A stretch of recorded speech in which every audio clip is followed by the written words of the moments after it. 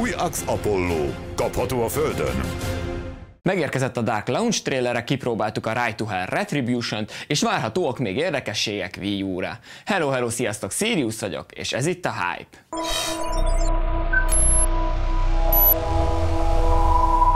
Megérkezett a Dark Launch trailer a különleges hangulatú játéké, amiben egy amnéziás a vámpírt alakítunk, és az ő emlékeit próbáljuk visszaszerezni, miközben különleges képességeinket használjuk. Július 4-én jelent meg PC-re, Xbox-ra egy nappal később, azonban sajnos Európában egészen 9-ig várnunk kell arra, hogy játszhassunk vele. Azok, akik esetleg magyarul szeretnék kipróbálni, pár hónapon belül ezt is megtehetik, ugyanis már dolgozik egy csapat a honosításon.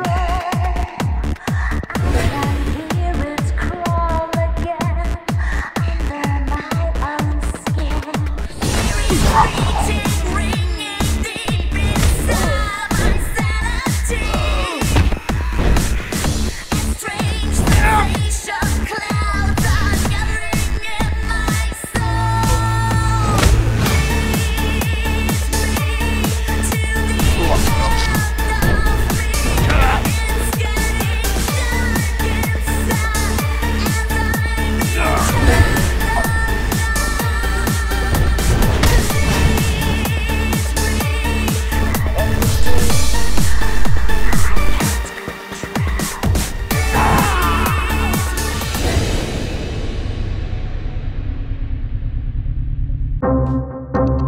Deep Silvernek sikerült kiadni az év legrosszabb játékát. Az Eurotechnics által fejlesztett Right to Hell Retribution egyszerűen borzalmasra sikerült, a grafika silánya, történet rossz, azonban ettől függetlenül nekünk ugye tesztelnünk kellett, úgyhogy meg is kapta a 21 át Igazából ennyit sem érdemel meg feltétlenül, de a zenéket legalább néhol eltalálták.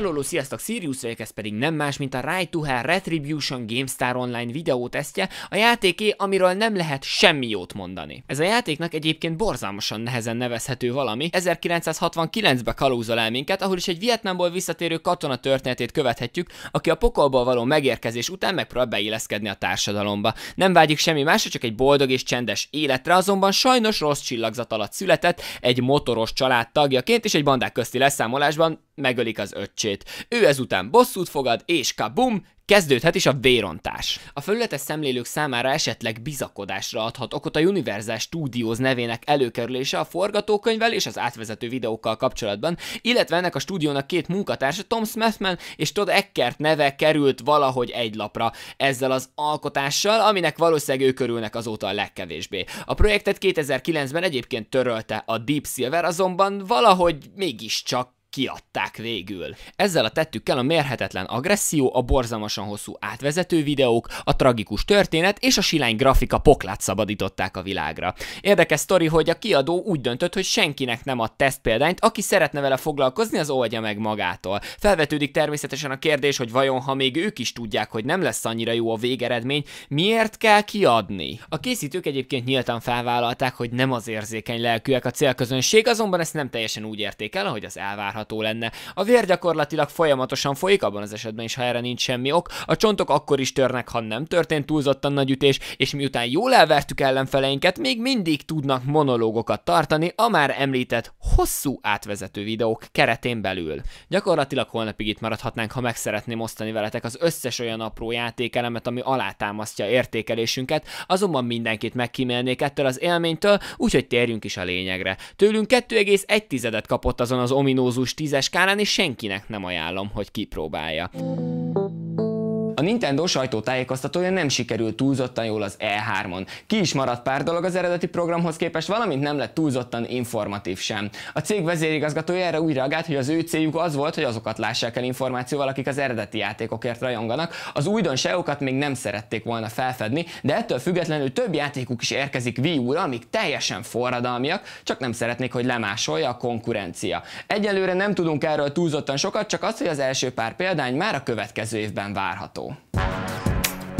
Elképzelhető, hogy Duck nem áll meg a Neverhood hangulatú Armikrog elkészítésénél, egy másik régi klasszikust is életre kelt, ami nem más, mint az Earthworm Jim. Ennek a játéknak már elkészítették az első kettő, valamint a 3D-s változatát, azonban ezt az utolsót nem tekinti részeként a sorozatnak, és arról kérdezte a rajongókat, hogy vajon mi lenne egy megfelelő megnevezés, ha folytatást készítene valaki. Ez természetesen nem egyértelmű utalás, azonban elég komoly jele, hogy gondolkozik valami ilyesmin.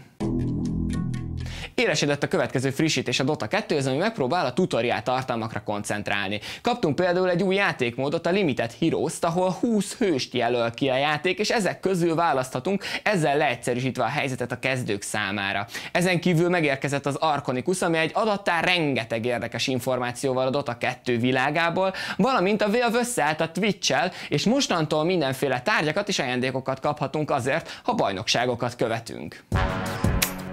Ezek voltak mai híreink, én Sirius voltam. Sziasztok!